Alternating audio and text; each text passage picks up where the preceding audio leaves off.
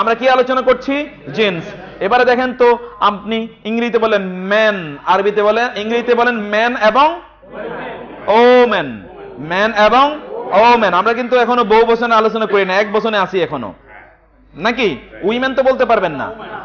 Man ও man ম্যান ও ম্যান আরবিতে আসেন, রাজুলুন ইমরাআতুন। রাজুলুন ইমরাতুন, রাজুলুন ইমরাতুন, বললেন তো এটা কি?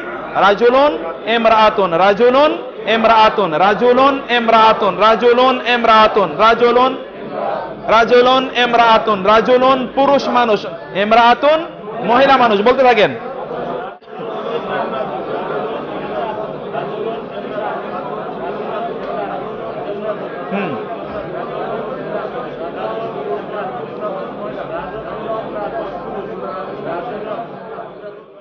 হ্যাঁ বলতে থাকেন তো, রাজুলন এমরাতুন রাজুলন এমরাতুন রাজুলন মানে কি? এমরাতুন আপনারা সূরা ইউসুফে শুনেছেন না এমরাতুল আজিজ। আজিজের কি? নারী, আজিজের নারী, আজিজের মহিলা। আজিজের মহিলা কি? আজিজের স্ত্রী। অতএব এমরাতুন সাধারণত স্ত্রীকে বোঝানোর জন্য ব্যবহৃত হয় কোরআনে, এমনি আরবি ভাষায় না। আরবি ভাষায় নারীকে বোঝায় এমরা যাই হোক, সেটা আমরা পরে বলছি। এমরাতুন মানে কি? হযরত ইব্রাহিম আলাইহিস সালামের স্ত্রীর ব্যাপারে কোরআনে বলেছেন, ওয়া মারাতুহু কাইমা তার স্ত্রী কি ছিল? দাঁড়িয়ে ছিল। ওই যে যখন ফেরেশতারা আসে ইব্রাহিম আলাইহিস সালামের কাছে, সেখানে ইমরাতুহু আবার। ওয়ামরাতুহু হাম্মালাতাল হাতাব। আমরাতু আছে না? এবং তার নারী। কার নারী? আবুল আহাবের নারী। মানে আবুল আহাবের স্ত্রী। তাইলে রাজুলুন এমরাতুন রাজুলুন মানে কি? এমরাতুন নাজুলুন? এমরাতুন। তাইলে এটাকে ইংরেজিতে কি বলে? এই এই যে আমরা পরিবর্তনটা দেখলাম। জেন্ডার আরবিতে কি বলে? জিন্স আরবিতে কি বলে?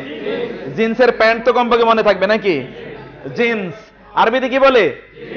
ইংরেজিতে? আর মারেফা এবং নাকেরার ক্ষেত্রে কি বলেছিলাম আমরা? মারেফা কি? নাকেরা? মারেফা? নাকেরা? মারেফা শব্দটার সাথে মনে থাকলে বলবে, মনে রাখবেন তারিফ তারিফ করা। কারও তারিফ করে না, প্রশংসা করে, অর্থাৎ তারে আরেকজনের কাছে পরিচয় করিয়ে দেয়। সেখান থেকে বলা হয় মারুফ, আমর বিল মারুফ, এখানে হচ্ছে মারেফা। তাইলে আমরা প্রথমত কি জানলাম? প্রথমত কি জানলাম? মারেফা নাকেরা তারপরে কি জানলাম? জিন্স। জিন্সের মধ্যে আমরা কি জানলাম? পুরুষ এবং নারী। পুরুষকে আরবিতে বলে মোজাক্কার। পুরুষকে আরবিতে কি বলে? নারীকে কি বলে? মোয়ান্নাস। এটা বলতে থাকেন তো মোজাক্কার মোয়ান্নাস। বলতে থাকেন? মোজাক্কার মোয়ান্নাস। মোজাক্কার মোয়ান্নাস। মোজাক্কার মোয়ান্নাস। বলতে থাকেন? হ্যাঁ। মোজাক্কার মোয়ান্নাস। মোজাক্কার মোয়ান্নাস। মোজাক্কার মোয়ান্নাস। মোজাক্কার শব্দটা মাথায় রাখবেন। মোজাক্কার মানে হচ্ছে জিকির থেকে এসছে। অর্থাৎ যার কথা বেশি বেশি বলা যায়। মহিলাদের কথা বেশি আলোচনা করা, এটা কি এটা কি এটা কোনো মুসলমানের মর্যাদার মধ্যে পড়ে না। মহিলাদের কথা বেশি বেশি আলোচনা করা মুসলমানদের মর্যাদার মধ্যে পড়ে না। আল্লাহ পর্যন্ত কোরআনে আবুল আহাবের নাম নিয়েছে কিন্তু তার স্ত্রীর নাম নেয় নিয়েছে? বলেছে ওমরাতুহু ইব্রাহিম আলাইহিস সালামের নাম নিয়েছে কিন্তু তার স্ত্রীর নাম নিয়েছে? নাম নেয় নাই। অপ্রয়োজনে মহিলাদের আলোচনা করা, এটা এটা কালচার বিরোধী, এটা সংস্কৃতি বিরোধী এটা ব্যক্তিত্ব বিরোধী। আপনি কোথাও যায়া শুধুমাত্র বউয়ের ব্যাপারে আলোচনা করতেছেন। ওই লোক মনে করবে এটা কি ছোট টাইপের লোক। খালি বউয়ের আলোচনায় সারাদিন করে। খুব ভালো কেন কাজটা? খুব ভালো না কাজটা? নারীদের বেশি বেশি আলোচনা করা যায় না। এটা এটা কিসের ব্যাপার? ব্যক্তিত্বের ব্যাপার। আপনি বলেন তার মানে তাদেরকে ছোট করে দেখা। ছোট করে দেখা না, তার সম্মানটাকে অক্ষত রাখা। পুরুষের আলোচনা বেশি, ওই জন্য তার নাম মোজাক্কার, জিকির থেকে এসছে। কি থেকে এসছে? জিকির, মোজাক্কার, যার আলোচনা বেশি হয়। আর মোয়ান্নাস মানে হচ্ছে যার প্রতি ভালোবাসা, প্রেম। বেশি থাকে। ওইটাকে বলা হয় মোয়ান্নাস বুঝতে পেরেছেন? মোজাক্কার মোয়ান্নাস বলতে থাকেন তো? মোজাক্কার মোয়ান্নাস মোজাক্কার মোয়ান্নাস মোজাক্কার বলেন। মোজাক্কার মোয়ান্নাস মোজাক্কার মোজাক্কার মোয়ান্নাস মোজাক্কার মোয়ান্নাস মোজাক্কার মানে কি? পুরুষ। মোয়ান্নাস নারী। আমরা এখানে এক্সাম্পলটা নিয়েছিলাম মানুষ। রাজুলুন এমরাতুন, রাজুলুন? এমরাতুন মানে কি বললাম? মহিলা। এমরাতুন মানে কি? তবে কোরআনে এমরাতুন কি অর্থে ব্যবহৃত হয়েছে? স্ত্রী। আমরা তিনটা এক্সাম্পল দিয়েছি। এমরা আতুল আজিজ, ওই যে মিশরের বাদশার স্ত্রী মানে মিনিস্টারের স্ত্রী এমরা আতুন ইব্রাহিম ইসলামের স্ত্রীর ব্যাপারে কি বলা হয়েছে? অমরা আতুহু তাই না? আবুল আহাবের স্ত্রীর ব্যাপারে বলা হয়েছে। আর অন্য জায়গায় হজরত ইব্রাহিম আলাহ ইসলামের স্ত্রীর ব্যাপারে বলা হয়েছে, আমরা বলেছি। এছাড়া কোরআনে আল্লাহ সুবহান ওয়া তাআলা দুইজন নারীর গল্প আমাদেরকে বলেছেন। একজন নারীকে মারিয়াম। আরেকজনকে আসিয়া। দুই নারীর ঘটনা বলেছে না? দুই পুরুষের কথা বলেছে। ইমরাআতাইনি তাহতা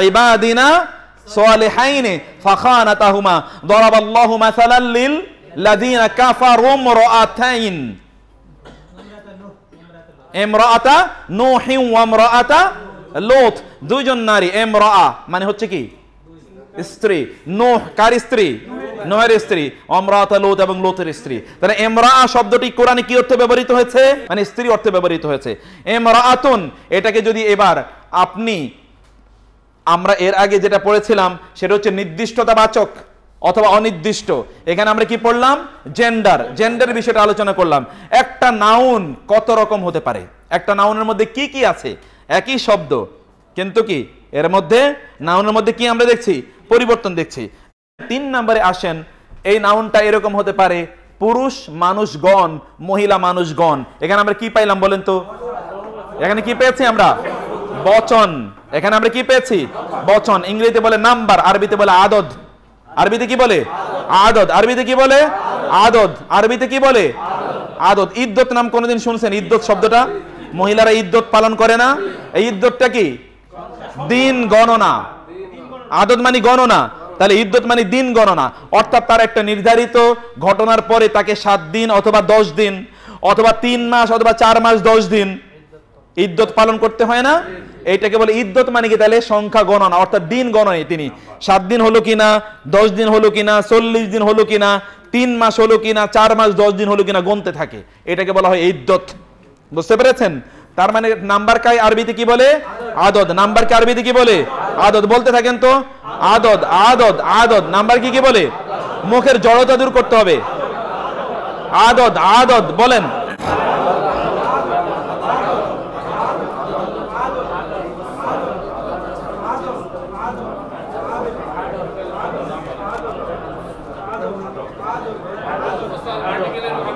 হ্যাঁ কিসের?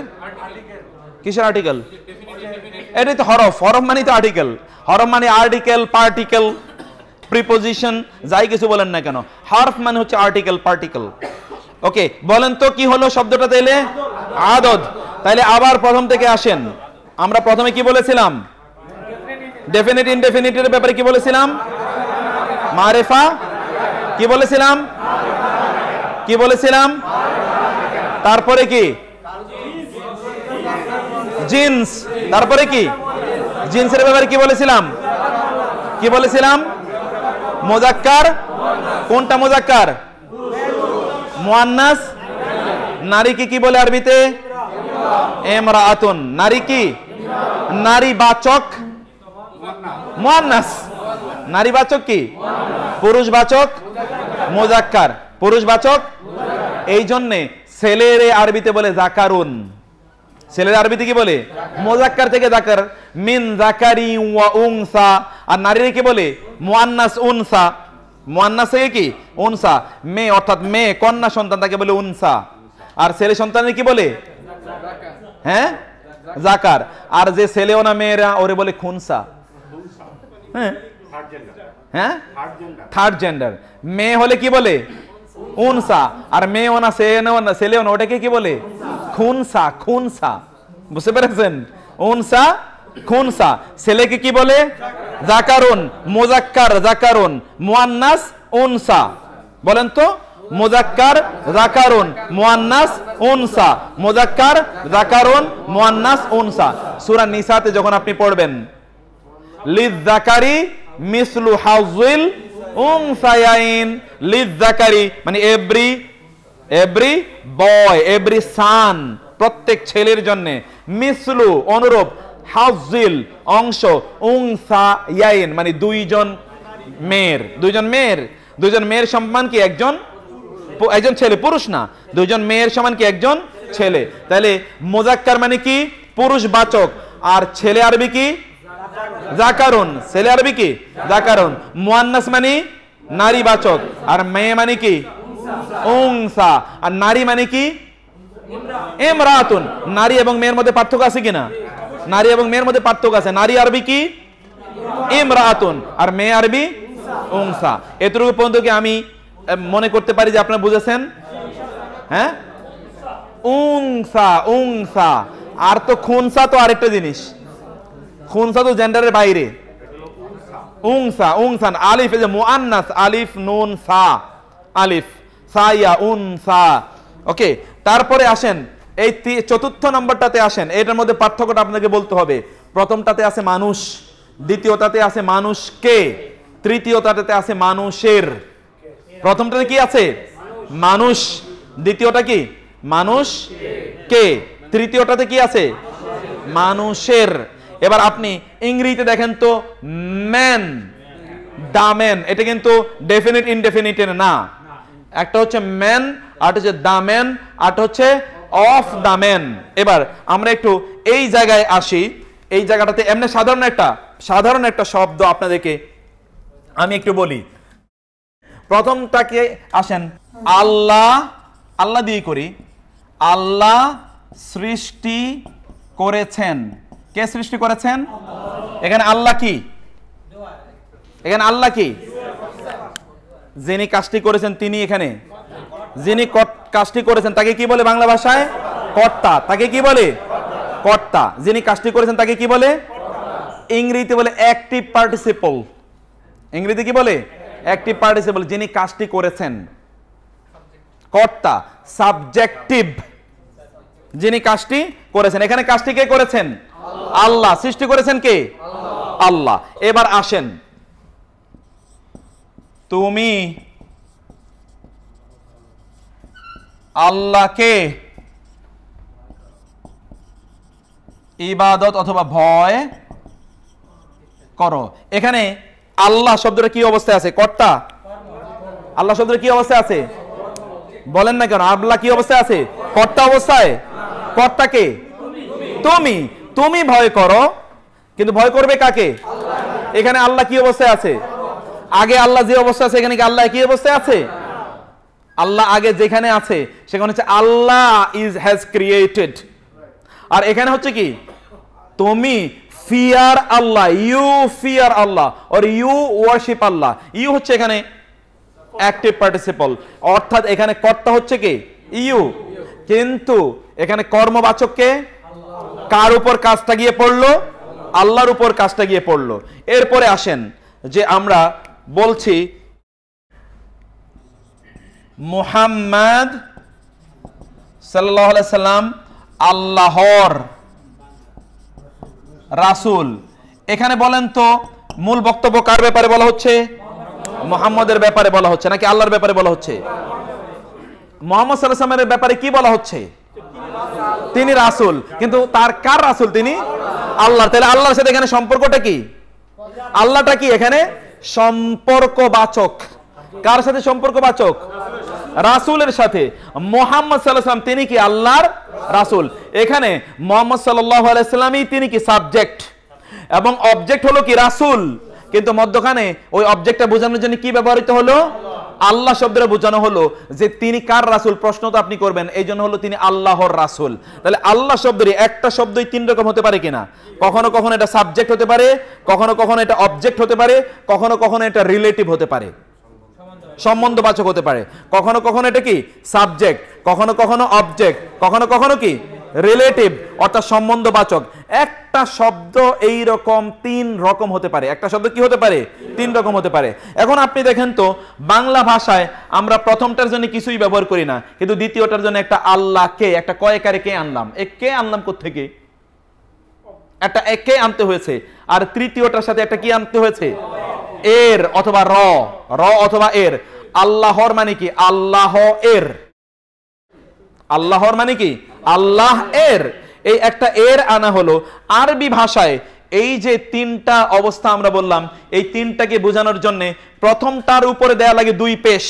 প্রথমটার উপরে দুই পেশ অথবা এক পেশ দেয়া লাগে। প্রথমটার উপর, অর্থাৎ যদি কর্তাবাচক হয়, তাহলে সেখানে কি হবে? দুই পেশ হবে অথবা এক পেশ হবে। কখন এক পেশ হবে, কখন দুই পেশ হবে, এটা আমরা একটু পরে আলোচনা করব। এখনই আপনি এটা জানার দরকার নেই। কখনো কি হবে? এক পেশ অথবা দুই পেশ। কি বোঝানোর জন্য? কর্তাবাচক বোঝানোর জন্য। কি বোঝানোর জন্য? কর্তাবাচক বোঝানোর জন্য। কর্মবাচক বোঝানোর জন্য দুই জবর অথবা এক জবর হবে। কর্মবাচক বোঝানোর জন্য কি হবে? দুই জবর অথবা এক জবর হবে। অর্থাৎ সেখানে হবে আল্লাহ। প্রথমটা কি হবে? আল্লাহ। হু দ্বিতীয়টাতে কি হবে? আল্লাহ। কর্মবাচক বোঝানোর জন্য। অর্থাৎ তুমি আল্লাহর আবাদত করো, তখন আল্লাহর উপর কি হবে? এক জবর হবে। আল্লাহর উপর কি হবে? তুমি আল্লাহকে আবাদত করো। কি হবে? এক জবর, আল্লাহর উপর এক জবর হবে। আর আমরাও যে বলি, তুমি আল্লাহর বান্দা। সেখানে কি হবে? আল্লাহর উপর কি হবে? জবর, জের, পেশ? জের। এর। এর বোঝানোর জন্য কি হবে? জের হবে। আবার খেয়াল করুন, আমরা যে নাউনটা, ইসিমটা নিয়ে কথা বলছি, ইসেমের সর্বশেষ বর্ণে জের হবে না, জবর হবে না, পেশ হবে? এটা তো আমাদেরকে জাগতে হবে। কারণ প্রথমগুলো তো কোনোদিনই চেঞ্জ হয় না। আল্লাহ। এটা কি কোনোদিন? ইল্লা। অথবা উল্লাহ এরকম কোনোদিন হবে? তা তো না, আল্লাহ এটাই হবে। কিন্তু আল্লাহু, নাকি আল্লাহ নাকি আল্লাহ হি কি হবে? আল্লাহু কখন হবে? যখন এটা সাবজেক্ট হবে। যখন কি হবে? তখন হবে আল্লাহু। যখন এটা অবজেক্টিভ হবে, তখন সেখানে কি হবে? আল্লাহ।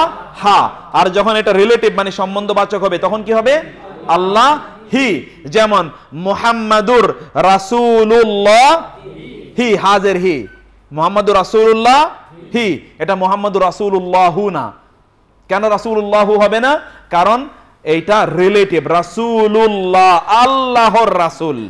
এই জন্য আমরা এটা রিলেটিভ বোঝাচ্ছি। এই রিলেটিভটা বোঝানোর জন্য এখানে জের জবর পেশ হবে। এইটা এখন আপনারা মাথায় বেশি করে ঢুকাইতে দেওয়া মাথার এলোমেলো করার কোনো প্রয়োজন নাই। আমি শুধুমাত্র একটা আইডিয়া দিলাম যে আইডিয়াটা আমরা দুই, দ্বিতীয় ক্লাসে আমরা আলোচনা করছি। এই আইডিয়াটা মাদ্রাসায় এগারো বছর পড়ার পরে আলোচনা করে।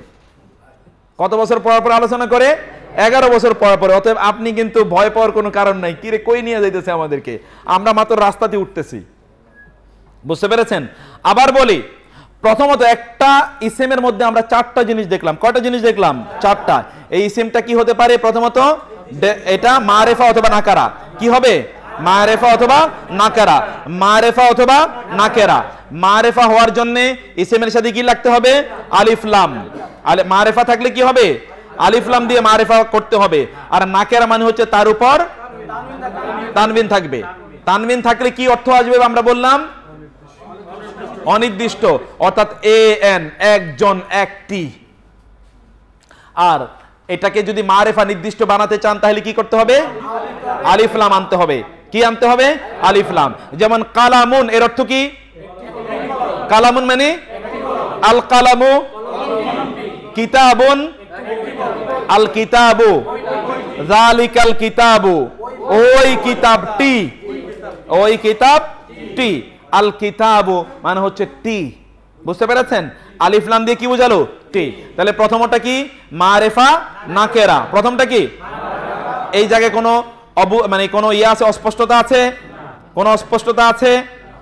অনেকে একেবারে ক্ষীণ, হীন কণ্ঠ। আমি বুঝতে পারছি না কনফিউশন আছি। কোনো কনফিউশন আছে আপনাদের? ওকে দুই নম্বরে আমরা বলেছিলাম জিন্স। দুই নম্বরে কি বলেছিলাম? জিন্স। আরবিতে শব্দটা হয় মোজাক্কার হবে অথবা মোয়ান্নাস হবে। ইংরেজি ভাষায় এটা হতে পারে ম্যাসকুলিন ফেমিনিন এবং নিউট্রাল এটা নিউট্রাল আছে না? বাংলা ভাষায় আরেকটা আছে কি? উভয়। ওইখানে আছে একটা ক্লিপ আরটা আছে কি? উভয়। ইংরেজিতে চা, তিন, বাংলাতে কয়? আর আরবিতে হলো দুইটা। কত সহজ? আরবিতে কয়টা? দুইটা। এটা কি হবে? মোজাক্কার অথবা মুআন্নাস। বলেন তো কি কি বলেছিলাম? মোজাক্কার, মুআন্নাস। মোজাক্কার মুআন্নাস। মোজাক্কার, মুআন্নাস। মারেফা, নাকারা। মোজাক্কার, মুআন্নাস। বলেন। মারেফা নাকারা মুজাক্কার মুআন্নাস। মারেফা নাকারা মুজাক্কার মারেফা নাকারা মুজাক্কার মুআন্নাস। বলেন।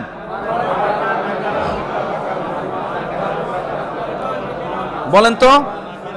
মুজাক্কার মারেফা নাকারা মারেফা নাকারা মুজাক্কার মারেফা, এই জায়গাটা কি আমরা ক্লিয়ার হতে পেরেছি? হ্যাঁ? আলহামদুলিল্লাহ। এবার আসি আমরা তিন নম্বরে বলেছিলাম আদদ মানে সংখ্যা। কি বলেছিলাম? মানে সংখ্যা। আদদ মানে কি? সংখ্যা। আল্লাজি জামা আমালাহু আদাদা। এই যে আদদ, সংখ্যা গণনা করা। আদাদ আদাদ মানে কি? সংখ্যা। এখন, আদাদের ব্যাপারে আমরা কি বলেছিলাম? এটা কি হতে পারে শব্দটা? বহু বচন হতে পারে। আমরা আদত নিয়ে আলাদা আমাদের আমাদের আলাদা চ্যাপ্টার আছে। সেই চ্যাপ্টারে আমরা আলোচনা করব। যেমন ভাবে আপনি দেখলেন, এই শব্দটা আগে আমরা বলেছি মানুষ। এখন আমরা বলতে পারি মানুষ মানুষগুলো, মানুষগুলো বা মানুষজন, মানুষগণ, তাই না? অথবা নারীগণ, পুরুষগণ। এটাকে আমরা আরবিতে যখন এই শব্দটাকে উল্লেখ করলাম, আমরা প্রথমত বলেছিলাম রাজলুন। আরবিতে হলো আর রিজালু আরবিতে কি? আর রিজালু এবং নারীদেরকে বোঝায় আর নিসাও একটা সূরা আছে না? নিসা। আছে কি না সূরা? নিসা মানে কি? নারীগণ। নিসা মানে কি? অতএব এই সূরাটার অর্থ কি? নারীগণ। সুরাটার অর্থ কি? নারীগণ। একটা হলো আন নিসা আর হচ্ছে কি? আর রিজাল রিজালুন নিসাউন। রিজালুন মানে? রাজুনের বহু বচন। রিজালুন। আর নারীগণ কি? নিসাউন। নিসাউন কি? নারীগণ। এরপর সর্বশেষ যেটা আমরা বলেছিলাম সেটাকে বলে কি আমরা বলেছিলাম? সেটাকে বলে আরবিতে এরাব। এটাকে আরবিতে কি বলে? এরাব। আরবিতে কি বলে? এরাব, মনে রাখবেন, আরবিতে জের জবর পেশেরে বলে হরকত। জের জবর পেশেরে কি বলে? হরকত। কিন্তু শব্দের শেষে যেই জের জবর পেশ হয়, ওটাকে বলে এরাব। পার্থক্য ক্লিয়ার করতে পেরেছি আমি? শব্দের শেষে জের জবর পেশ যেটা হয়, এটাকে বলে এরাব। আর শব্দের যেইখানে ইচ্ছা, সেখানে যে জের জবর পেশ ব্যবহৃত ওইটাকে বলে হরকত। জের, জবর, পেশকে কি বলে? হরকত বলে। কিন্তু শব্দের শেষে যেটা ব্যবহৃত হয়, ওটাকে কি বলে? এরাব বলে।